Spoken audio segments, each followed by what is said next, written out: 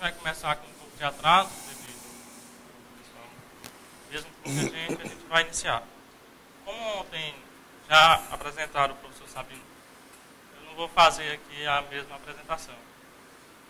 Né? Então, professor Sabino. Tá, obrigado. Boa tarde, muito obrigado por estar aqui. Deixa eu muito forte. Pronto. Hoje vou apresentar um método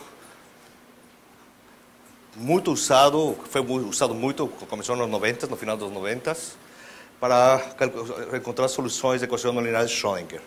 Certo? A equação linear de Schrödinger, em geral, contém mais de, mais de uma dimensão transversal, é, é praticamente impossível encontrar soluções exatas. Então a gente encontra soluções numéricas. Naquele tempo tive muitas, muitos métodos, muitas, muitas formas de procurar soluções aproximadas. E de todos os métodos, o melhor de todos, finalmente foi o método lagrangiano ou método variacional. ¿Sí? Se demonstrou mais ainda que outros métodos chamados métodos paraxiais, que assumiam a, a função complexa com uma parte de sua amplitude, sua parte de fase, sustituían la ecuación y al final eso daba resultados errados. Entonces, realmente este, este ha sido o mejor de todos los métodos. La parte interesante es que después de casi 20 años está viviendo todo esto de nuevo y pues voy a mostrar ahora, voy a pedir por ustedes mucha paciencia porque ahora sí, comparado con la palestra de ontem, ahora sí es teórico, ¿cierto? Entonces vamos a ver, pero voy, voy a intentar hacer las cosas más, o más simples posible. Pronto. De novo, a gente quer representar a propagação da luz, a gente utiliza a equação de Helmholtz. Sim, a gente tem, tem, temos aqui o campo. A gente assume que preferencialmente está dirigido em uma direção que chamamos Z. Z. Quando a gente, a gente substitui isso aqui, este é o resultado da equação que fica. Certo? Depois, a gente faz o que a gente fala a aproximação paraxial. Neste caso, a gente supõe que a segunda derivada é muito mais pequena que que a primeira derivada de campo com respeito a Z. E também a gente está assumindo que o, o, o componente em Z é praticamente do mesmo tamanho, da mesma magnitude do número de onda. Sim? Então, quando a gente faz as suposições, a gente termina com uma equação muito mais simples, certo? Uma primeira derivada em Z e o Laplaciano transversal em X e em Y. Bem.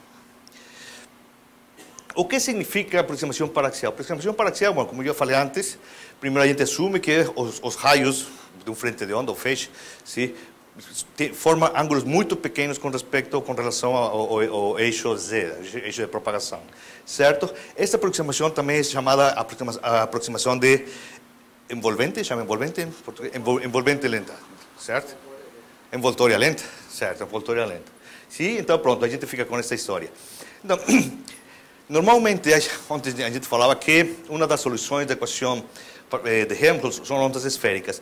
Neste caso, aqui estamos supondo é que as, as ondas realmente têm uma pequena região sim, onde a gente pode aproximar a esfera por um hiperboloide de revolução. Certo? Então, o frente de onda praticamente vai estar nessa região e a gente vai supor que a, a luz viaja nessa direção. Pronto. Ah, uma das soluções mais conhecidas é o que a gente chama de feixe gaussiano. A gente está supondo que vai ter um, um, uma distribuição de luz fixa, finita. Uma coisa que a gente faz, os teóricos fazemos, é sempre normalizar. A gente bota fora todas as unidades, certo? Joga fora. Na verdade, não joga fora. Guarda em um cantinho e depois usa de novo. Porque é um problema com os experimentais. Os experimentais sempre falam assim: você normalizou, a gente já não sabe o que fazer. Não, não, não, peraí. A gente tira do bolso, põe de novo e dá para fazer experiência, certo? É uma coisa boa quando a gente faz, sabe normalizar corretamente. Então, neste campo, a gente vai, vai supor que tem um campo sim, cuja máxima amplitude vai ser 1, sim, em todo o espaço, então sempre divido entre uma amplitude máxima. Sim. Ao, ao longo da propagação, vou a, vou a normalizar com respeito a uma coisa que a gente chama distância de difração, ou distância Rayleigh, sim, é muito conhecida. Transversalmente, como eu tenho uma distribuição, vou, vou, vou supor que é uma distribuição finita transversal, defino o, o, a, a, largura do feixe, então, então transversalmente eu vou utilizar esse, essa largura para normalizar minhas coordenadas transversais, certo? Então aqui temos que, aqui, desculpa, aqui era um Y e é Z. Uma vez que eu normalizo minha equação, as coisas ficam muito mais simples. Aqui antigamente tinha amplitude, tinha largura, tinha unidades, tinha tudo. Agora, minha nova equação não tem mais unidades, não tem mais nada. E a coisa mais importante é que todo vira de ordem de 1. ¿Sí? Bien. Então, a solução mais simples dessa equação, bom, não mais simples, mais simples é, é, é a, a, onda plana, mas a, a mais simples que pode representar um feixe é o que se conhece como feixe gaussiano. O feixe gaussiano tem, tem quatro parâmetros muito importantes, certo? O primeiro que está aqui na frente é a amplitude, certo? A largura, sim? O comportamento da transversal da face, sim? Aqui, temos uma aqui imaginária, face transversal e a face longitudinal, também conhecida como face de Gauss. Sim? Então a gente começa com um com um feixe gaussiano, com uma onda plana, assim como ele propaga, a frente de onda vai se vai distorsionando, vai, vai, vai tomando uma forma paraboloide e a amplitude vai diminuindo, como vamos ver num próximo. ¿sí? Então, de novo, está aqui de novo meu gaussiano. Quando eu tomo módulo, calculo a intensidade, tomo módulo quadrado dele, toda a parte imaginária vai embora, e somente fico a amplitude e a largura. Isso que vai definir praticamente o que a gente vê no laboratório. Aqui são, são parâmetros que a gente utiliza normalmente, certo? Então, a ideia basicamente que tenho aqui, um feixe, quando ele propaga duas distâncias, de acordo com a normalização, ele diminui a amplitude na metade. A sua largura fica raiz de 2, então todo, todo fica quantificado muito bonito.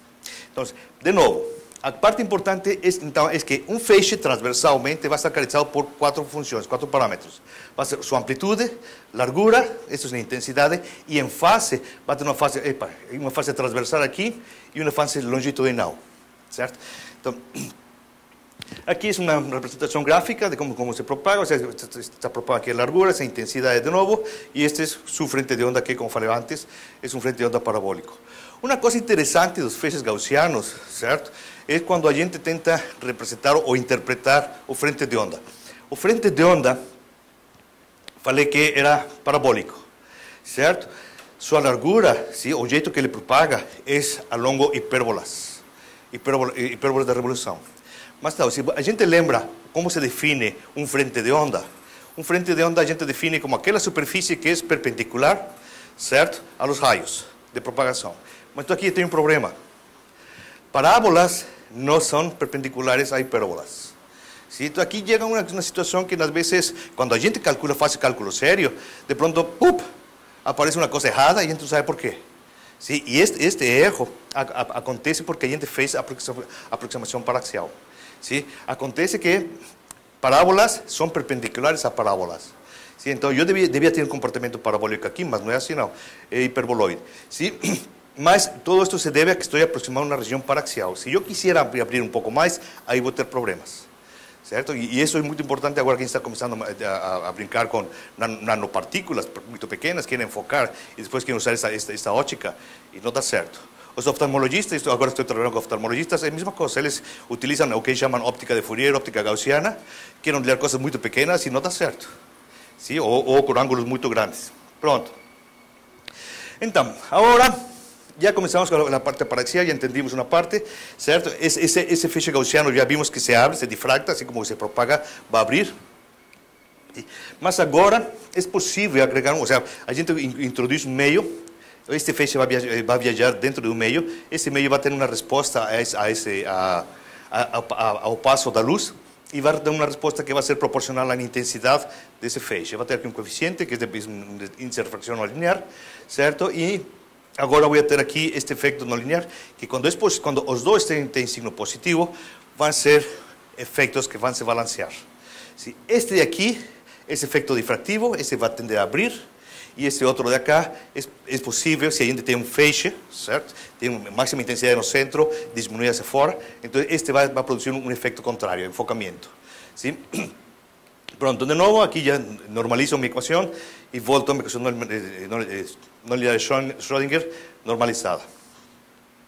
Bem, uma coisa importante, esta equação não tem solução analítica exata, fechada. O sea, tem solução analítica. Então, tem solução, sim, a gente encontrar numericamente, mas não existe uma expressão analítica para poder representar a solução dessa equação em duas dimensões transversais. Certo? E aí porque a gente precisa procurar sempre uma, uma solução aproximada. Bem, Aparecia aqui no, nesse termo, quando a gente faz toda essa normalização, a gente simplifica e fica um termo muito simples, muito pequeno, bueno, só, só, é, é, muito compacto, não pequeno, muito compacto, que é eta zero. Este eta zero, na verdade, eu estou chamando que é um coeficiente de acoplamento. Está acoplando o termo de difração com os termos não lineares, ¿sí? com o meio, o material. Aqui vemos aqui, este aqui, o W0 é o feixe, me habla da difração do feixe, e esta parte é a intensidade da parte não linear. A gente pode brincar, assim, fazendo um pouco de álgebra, e pode escrever isto como distância de difração, dividido em, por uma, uma distância não linear, que a gente chama, está aqui definida essa de, de, de, distância não linear, ou, brincando mais um pouco de novo, multiplicando, dividindo por distintos termos. A gente puede escribir esto como potencias, como el cociente, la división de dos potencias, uma eh, P0 que significa potencia de entrada y un valor fixo que a gente vai chamar potência crítica que vai depender da, da longitud de onda da luz do meio, certo? Então, aqui é uma coisa importante. Esta é uma notação que a gente heredou da gente que trabalha com fibras. Porque em fibras se utiliza, utiliza muito essa distância de dispersão, distância não linear. Mas em ótica realmente não tem muito sentido. Tem mais sentido falar de potência, porque quando você, você trabalha no, no, no laboratório, o que você controla é a potência. Pronto. Agora, vamos entrar na parte matemática. ¿sí? Não é complicado. Aqui, aqui estou apresentando, o, problema variacional é um problema de, de, de extremos. A gente chama extremos, pode ser máximo, pode ser mínimo, certo? Então, a gente tem uma integral que a gente chama de funcional. É uma, é L que depende de variáveis independentes e além de, depende de funções. Estas aqui são funções que dependem de x e assim sucessivamente e além também depende das derivadas desta função. Sim. Então, esta é uma coisa muito complicada. A gente utiliza, lembram que em cálculo diferencial, a gente utiliza derivar para poder encontrar os máximos, mínimos, pontos ¿sí? Entonces, misma cosa acontece, solo que en este caso ahora es un cálculo diferen, diferencial diferente, a gente chama cálculo variacional, y eh, a condición de que esta cosa, esta, esta integral sea estacionaria, ¿sí? cuando gente, esta delta está representando una derivada especie de variacional, ¿sí? a condición de que esta cosa sea igual a cero, o sea, que sea estacionaria, cuando gente deriva para encontrar punto estacionario, y que satisfaga as, as ecuações de Lagrange, de Euler-Lagrange ¿sí? para cada una das, das variáveis, ¿sí? cada uma das, das mis funções de, e. Então, este problema é equivalente a resolver este outro. Então, encontrar o problema de, de, de extremos, encontrar o máximo ou mínimo, neste caso, se, se, simplifica a, a obter eh, as soluções deste sistema de equações. Aí você pode pensar, está mais complexo. Não, na verdade, vamos ver que se pode simplificar. O método completo se chama, este aqui, se chama método de Rayleigh-Ritz, Kantorovich, os russos chegaram também. Sim? E vamos ver o que a gente faz. Para a equação linear de Schrödinger, minhas funções eh, dependentes é a U, que é o campo, o complexo conjugado dela, porque a gente tem módulo quadrado, então está, aparece também aí, certo? Suas derivadas, aparecem das derivadas dela também aí, certo? E minhas variáveis independentes. Então, boto isso aqui adentro, e então, de acordo com a teoria de cálculo variacional, elas devem satisfazer um conjunto, neste caso estou botando somente uma, certo? Mas pode, são, na verdade são dois, mas a outra não, não, não, não presta para o que, a gente quer fazer. Sim? Na verdade, a outra é complexo conjugado desta, porque somente tenho duas funções, de, eh, duas variáveis dependentes, estas duas, certo? Então, tenho, tiro, eh, eh, faço a derivada variacional. Derivada variacional significa aplicar as equações de Euler-Lagrange.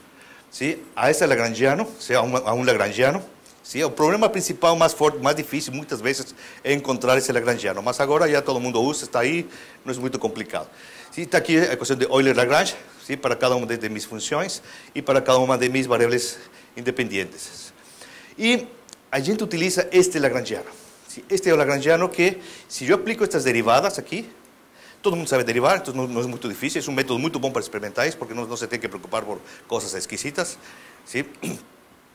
Então, este, este es o, o, o, lagrangiano, la función de Lagrange, ¿sí? con este termo aquí, oh, este termo aquí, ¿cierto? Y cuando a gente aplica este, estas ecuaciones de Lagrange, a gente da volta para a ecuación no linear de Schrödinger. Esa es la parte importante. O sea, para a gente conferir que este lagrangiano está certo, a gente aplica as ecuações de Euler-Lagrange e a gente tem que voltar para a equação não linear de Schrödinger. ¿sí? Entonces, entonces, más o menos simples, porque estos termos siempre son los mismos. Este aquí es el que me da la derivada, la derivada en sí. Estos dos, la misma cosa, me da estos, estos, dos termos. El único termo que yo tengo que me preocupar es este último termo que, que tengo aquí. Y si no, no final es solamente una integral, que no es muy compleja. Pronto. Entonces, de nuevo, tengo aquí mi ecuación de lineal Schrödinger. Antigamente, eh, en la transparencia anterior, solamente boté f y u. La función f depende de la intensidad del módulo cuadrado, ¿cierto? Para un caso polinomial Kerr, o sea, estoy haciendo una expansión aquí, solo boté dos termos, más pueden ser tres, cuatro, o sea, puede ser eh, u a la cuarta, a la sexta, o oito, o sea, puede expandir, ¿cierto? Como está aquí, en este caso, eh, eh funciones es, es Kerr saturable o saturable Kerr, ¿sí? Si a gente expande, eh, normalmente gamma es muy pequeño, a gente puede hacer expansión, expansión en series y acontece una vez más este, este que a gente tiene acá. y eso es lo que normalmente a gente faz. Por quê? Porque quando a gente integra esta coisa, fica deste jeito, certo? Aqui, este mi lagrangiano fica agora como G. Quando eu derivo isto com respeito a U, U estrela, certo? Vou, vou, vou voltar este termo e, e vou voltar este termo. Mi problema fica aqui porque tem um logaritmo e agora minha função está dentro. E isso depois vocês vão ver que vou ter que brincar com ele, meio complexo, vou ter que fazer integrais com ele. Às vezes pode, a gente pode eh, tentar fazer, mas é mais fácil fazer uma expansão logarítmica, uma expansão de, de, de Taylor. Pronto. Então, aqui está, meu problema se, redu se reduz aqui, tenho meu lagrangiano, tenho aqui minha função correspondente, já seja polinomial Kerr ou Saturn Kerr. Está aí. Então, o que devo fazer agora? Vou a supor, se eu, o que eu quero representar é um feixe. E esse feixe eu sei que deve, deve ter extensão, amplitude, fase e tudo isso. Por isso mostrei primeiro o caso do gaussiano. O, o, a gente falou e combinou que um feixe vai quedar caracterizado por quatro funções, quatro parâmetros. Então a gente vai supor que, que, que minha solução vai ser desta forma, vai ser uma, uma gaussiana, certo? Já falei antes, não existe solução analítica para a equação de Schrödinger em duas dimensões, certo? Então, mas eu vou pensar, eu sei que no laboratório eu vejo um feixe, eu vejo dentro de um feixe, algo que parece gaussiano. Então, pues, vamos a supor que é gaussiano. O que faz o cálculo variacional é que ajusta, ajusta todas e cada uma dessas funções que a gente tem aqui, ¿sí? estas quatro funções que a gente vai usar aqui, as ajusta ao melhor perfil mais próximo à solução exata, certo? Ela faz tudo que pode mas ajusta e fica o mais próximo à solução exata, certo? Então, aqui está a parte importante. A gente tem que usar uma função que a gente pode supor. A eu podia ter usado também aqui uma secante hiperbólica ou uma lorenciana, porque também tem forma de campana. ¿sí? Então, qualquer dessas funções que tem forma de campana, eu posso inventar, posso, posso tentar fazer uma coisa, ainda extremo, como acontece nos livros de mecânica quântica, ¿sí? posso tentar aproximar uma gaussiana por uma parábola. Se eu quero, posso tentar fazer uma coisa desse jeito, certo? É possível. Mas o, o importante é que o cálculo operacional vai tentar ajustar essa parábola em amplitude e todo para que se ajuste o melhor para a solução. Pronto. Então, já tenho aqui minha função que eu vou chamar função de prova. ANSAT significa isso, é função de prova. Vou tentar, boto aí, vamos ver o que acontece. Então, pego esta função, la meto aqui dentro de, da, da integral, certo? Mas como agora na integral tenho explicitamente uma dependência em x e em y, então posso realizar a integral. Sim, posso integrar com respeito a x, posso integrar com respeito a y. Com respeito a z, ainda não, porque não conheço essas funções. Estas funções, neste caso aqui, não conheço. Antes, caso linear, conhecia, porque tem uma solução analítica exata. Neste caso, mis incógnitas, as, as, funções que não conheço, são estas quatro funções, são as que não conheço. Esse agora é o problema do cálculo variacional, encontrar estas quatro funções. Então, pego esta coisa aqui, integro com respeito a x, integro com respeito a y, e o que fica, agora vou chamar de Lagrangiano reduzido. ¿Sí? Isto aqui, L, entre, é o que a gente de Lagrangiano reduzido, que significa a integração deste com respeito a x e a y. Então, já, já tenho aqui mi, mi mi lagrangiano reducido y ahora es con este, más una vez, porque ahora mi problema variacional pasó de este de aquí a este de acá. Y entonces ahora este debe tener un conjunto de ecuaciones de Euler-Lagrange para que entonces esta integral sea estacionaria. Y ahora esas eh, eh, integrales, o esas, esas, ecuaciones de Lagrange que voy, que voy a brincar. Quando, por exemplo, nesse caso da, da, da gaussiana, faço as integrações e fica esta coisa um pouco horrível, mas não é tão horrível, é uma coisa muito interessante, porque no final a gente faz a, a derivada variacional com respeito a uma das funções, a A, com respeito a W, a B e com respeito a φ, igual a zero, e a gente vai terminar com quatro equações, sim? Que em geral são quatro equações diferenciais, você, a gente vê aqui que quando a gente aplica as derivadas, essas são quatro equações diferenciais acopladas. ¿sí? O interessante é que é possível encontrar a solução analítica deste sistema. A gente passa um, dois, três dias, não, não, duas, três horas aí brincando, certo? Mas dá para resolver.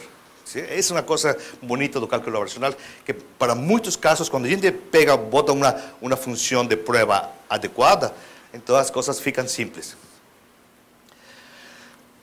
Bien. Bien, entonces ahora voy a, voy a hacer un, ex, un, ejemplo inducido precisamente por la... Como me falaram aqui que estou aqui e vamos explorar. Pronto, já que estamos explorando, vamos explorar direitinho.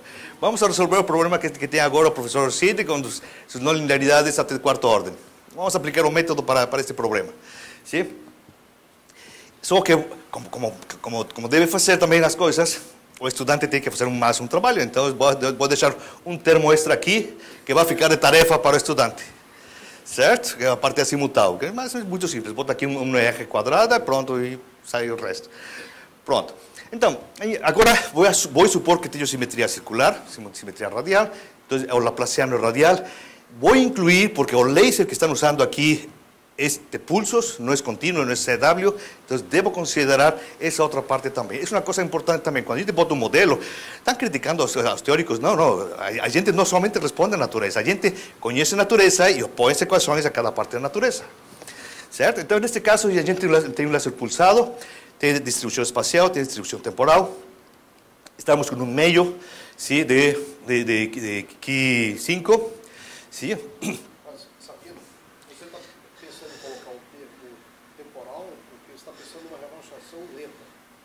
Sí, sí, sí, sí, exacto. Eletrônica rápida. Por instantânea, exatamente. Sí.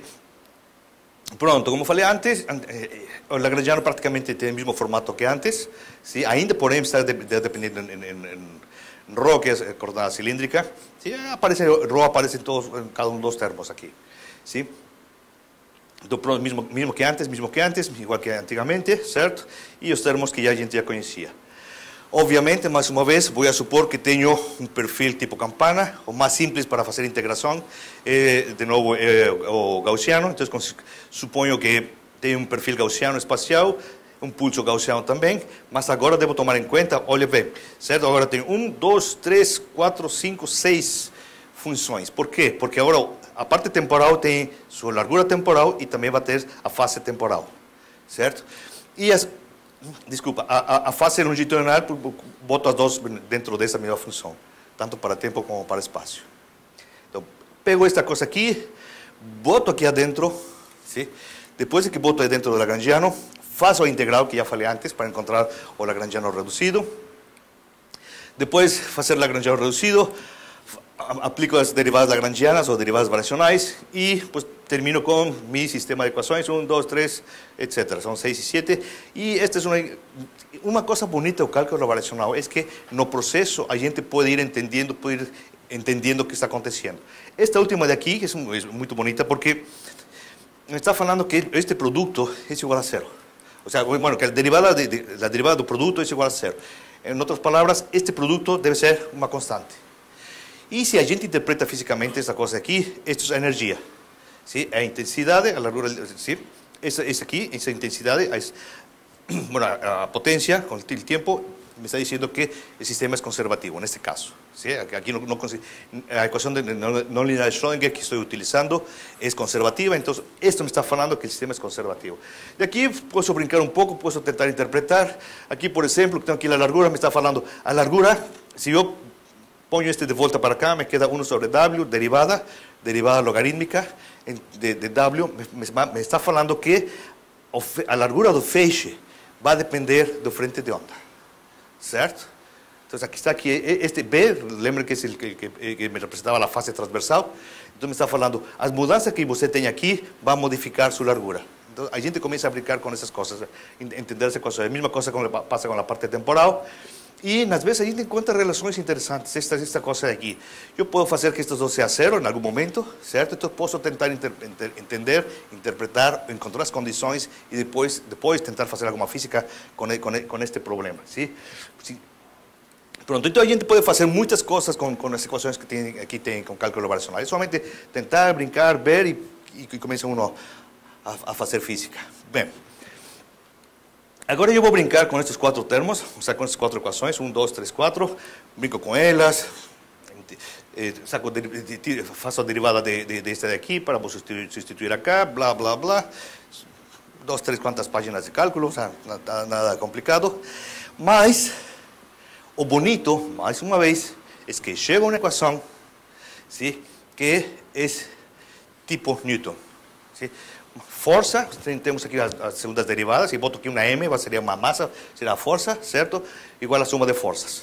Então aqui posso começar a brincar, tratar de entender o que é que está acontecendo, como faz, que faz. Ou seja, essa, mais uma vez, é uma, o cálculo racional dá muita informação para escrever um bonito paper. Certo? Ou seja, não não somente sai a conta e pronto, aí saiu. Sino, dá para, para explicar várias coisas na, no- no processo. Pronto. Então, aqui já tenho essa, tenho essa, essa equação diferencial, que uma, tipo, uma equação tipo newtoniana. ¿sí? Desta equação, a gente pode obter uma relação para os e- eta zero, o sea, a, a, o termo Kerr, o parámetro de acoplamiento, el, el polinomial, ¿cierto? y el resto, la dispersión. ¿Por qué? Lembren que yo normalicé. Es una cosa bonita la normalización. En z igual a zero, todo el mundo debe ser 1. Então, se eu considero esta coisa em z igual com zero, e além que estou procurando aquela solução que vai ser estável, que não vai mudar, se não vai mudar larguras, então estas derivadas são zero. ¿sí? Estas derivadas son cero, este, este va a ser 1, 1, 1, etc. Todo, donde encuentre W, donde encuentre sigma, eh, va a ser 1. Faço eso y fica una, una ecuación muy simple. Entonces aquí ya encontré una relación que, que, ¿sí? para poder brincar, tentar buscar una solución estable. ¿Cierto? Entre, que me está dando alguna dependencia en la parte espacial, sí, con esta otra que tengo, que, que tengo acá, la parte de Kerr, de, de, de quinto orden. Sí. E assim a gente pode ir fazendo mais e mais termos. A gente pode fazer uma gráfica de, de, de, desta função, ou seja, deste parâmetro, é em função de gama, e, bueno, de gama minúscula, de gama maiúscula, ou dependendo de cada uma, todos os termos que a gente bote aí, a gente pode fazer uma função. E quando a gente faz isso, então pode fazer uma interpretação muito bonita mais uma vez. Pronto. A gente sabe que usando as equações de, de Newton, a gente pode transformar em, em, em, equações de energia, tipo hamiltonianas. Então, a gente tem aqui hamiltoniana de novo. Energia cinética, lembra? Certo? E este daqui, se é energia cinética, outro pedaço, energia potencial. É um potencial. ¿sí?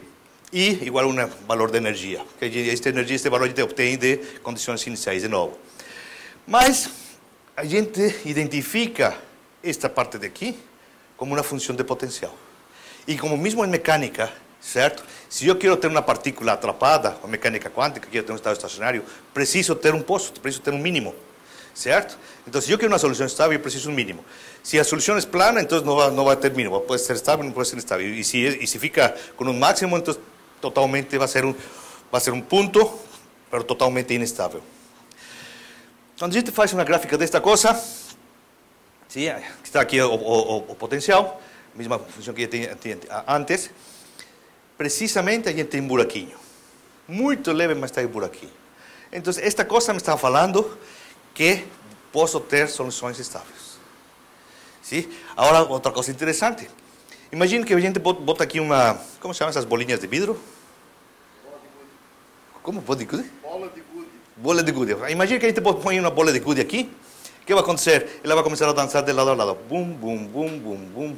¿sí? Cuando la danza de lado a lado se está mexendo ao longo de W, ou seja, a largura espacial vai estar mudando ao mesmo tempo que está mudando a largura temporal. Então, quando a gente põe uma bolinha aqui, certo, vai estar dançando aqui. Então, a gente pode, se a gente bota no mínimo, vai ficar vai ficar fixa. Sim, que essa é a solução ideal. Mas se ela não fica, se a gente não coloca no mínimo, então vai começar a a, a se mexer. Entonces, en, en, en este caso, en aquel tiempo llamaron de breathers, ¿sí? cosa que respira, o sea, ah, se abre, cierra, se abre, cierra. E aqui, bom, resolvendo as, as que, que tinha antigamente, certo? Aqui, ¿sí? este valor de 1. Estou vendo que, por exemplo, W é o que está aqui embaixo, ¿sí? y sigma, o sea, el, el, la largura temporal está subiendo. Entonces, en cuanto uno, uno se hace más magro, se hace, se hace magro y el otro larga. Magro, magro. Entonces, está, está, por eso que llaman de breeders. ¿sí? Entonces, a solución me está dando eso y el pozo de potencial me está falando eso. O sea, o fato de ver o pozo de potencial, eu estou vendo que, que essa coisa vai agir desse jeito. ¿sí? E para distintos valores, aqui o processo é contrário, o sea, tenho um valor de dispersão aqui, um menos 1.1, baixo um pouquinho, ¿sí? e sucede caso contrário. ¿sí? O sea, agora primeiro fica mais, mais largo e, e, e temporalmente mais curto e, e assim sucessivamente. ¿sí? Pronto. Se eu tiro a parte de não linearidade, fico somente com esse termo. ¿sí? E então agora o potencial, bueno, a função de potencial desta forma. Então qualquer coisa que eu bote aqui, se vai ir.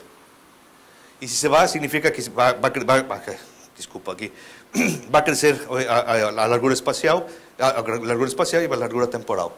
Neste caso não tem um mínimo, então o tempo todo se vai dispersar, se vai difractar. Então é uma interpretação direta e imediata dessa situação.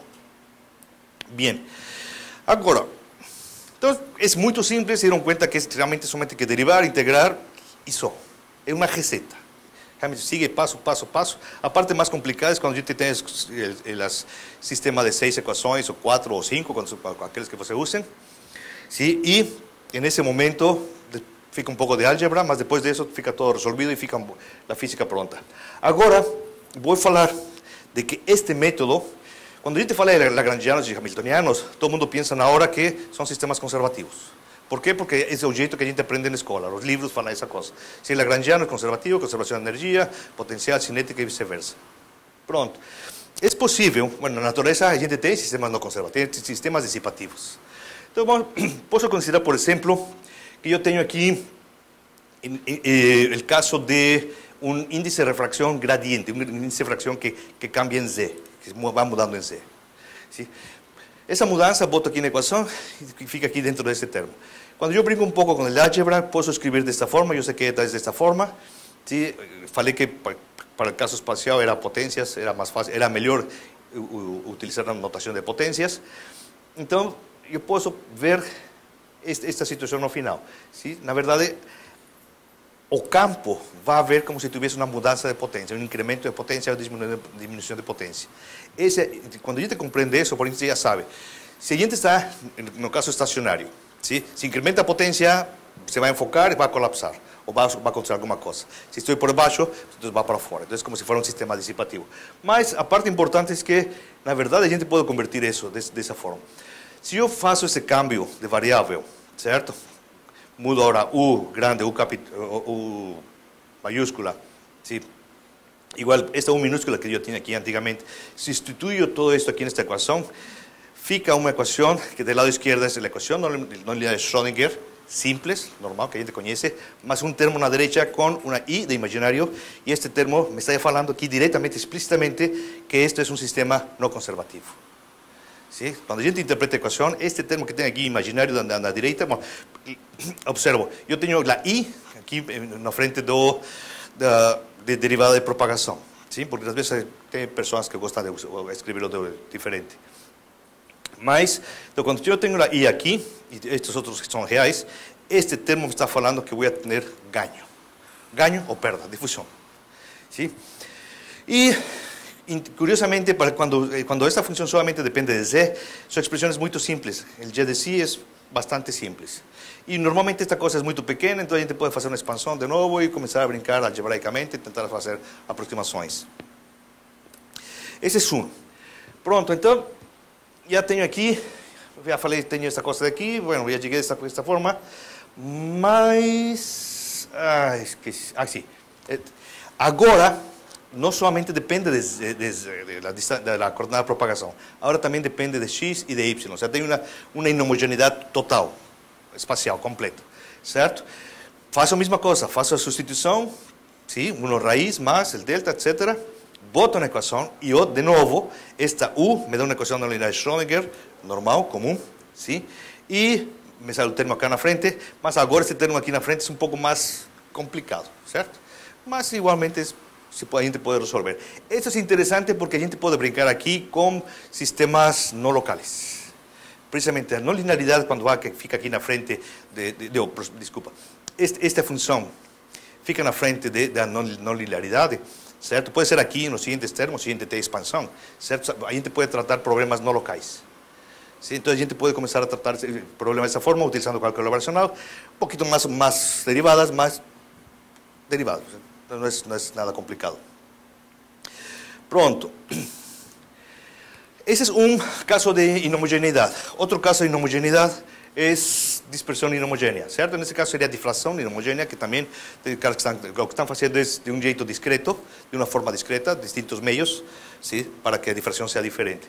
Então, se eu tenho a função na frente agora do termo que tenho aqui, de, de difração, certo? Eu faço este câmbio de variável. Quando faço esse câmbio de variável, ¡pac! ¿Sí? Mi función se me va al termo no linear y pues ya acabé. Porque yo sé que estando por termo no linear, puedo mandar a la derecha y llego a una ecuación similar que ya mostré anteriormente. Entonces ya acabé. Si yo, si yo llamo esta, esta función eta 1 de sí, posso, va a virar acá un y1 de sí, de nuevo, no conservativo. A parte relevante fue que Bom, quando, temos o caso anterior, o lagrangiano é praticamente igual que, que antigamente, fica forma, mas nas, a gente tem um problema. Quando um lagrangiano tem uma, uma dependência explícita das coordenadas, em particular da coordenada de propagação, significa que o sistema é não conservativo. Então a gente não pode aplicar um método variacional conservativo a algo que não é conservativo. Então a gente tem que modificar o método variacional. A gente fez isso faz 20 anos, 22, quase 23. A gente conseguiu resolver el problema, ¿sí? estoy botando aquí un resumo prácticamente, ¿sí? Es, muy parecido, es muy parecido al caso anterior, tengo aquí mi ecuación de Euler-Lagrange, solo que ahora en vez de ser igual a cero, es igual a una función K, donde esta función K representa el termo de perda o gaño. ¿sí? Y mis ecuaciones de Euler-Lagrange para cada una de mis funciones A, B, W. Sí. esse, esse aqui, certo? Mas então, eu não posso. Sim. Ai, meu Deus, era, era, era ah, ah, porque é lagrangiano e vou derivar com respeito a com respeito ao estrela, certo? Já vai ficar u quadrada, certo? E pode ser pode ser complexo, né? Pode ser complexo também, sim, sim. Porque al final sempre vai virar uma parte da função g que tinha antigamente. Sí, más entonces, de nuevo, cuando yo tengo un lagrangiano de esta forma, tengo aquí una dependencia explícita en la coordenada de propagación. Entonces, yo no puedo aplicar de nuevo métodos conservativos. Entonces, tengo que crear un nuevo método conservativo. Fue que a gente fez. Este nuevo método conservativo, a gente desenvolvió, tiene que ser igual a una función que, donde esta, esta función que tiene todos los términos de, de, del sistema no conservativo. Cuando a gente hace aquí la derivada variacional, a gente obtiene aquel termo. Pronto. Y después estas B's representan cada uno del el A, el W, el Phi, el sigma, cada una de mis funciones parámetro. Faço la misma cosa. Entonces son aquí las ecuaciones de Euler-Lagrange igual a dos veces a parte real de, de, de mi función K, que es la, la, parte no disipativa, veces la derivada de nuevo con respecto a mi función parámetro que estoy procurando. Entonces es hacer la cuenta de nuevo, más álgebra, más integrales, más todo, y a gente obtiene una solución para ese tipo de problemas. Aparte interesante, bonito de esto fue que nuestro amigo Agrawal gostou tanto do, método que ele incluiu no seu último livro, certo? É uma secção, um capítulo de, de, de fibras com, com ganho. Então, ele utiliza nosso método para, bueno, para precisamente para tratar problemas de fibras e agora com fibras de sílica, creo que são que são conservativas e todo esse tipo de coisas. Pronto, então com isso termino. Espero não ter dormido vocês. Sí, y cualquier cosa, que es mi última, entonces son mis, mi enderezo electrónico, Sabino, y na web, o sabino.co.mx. Obrigado.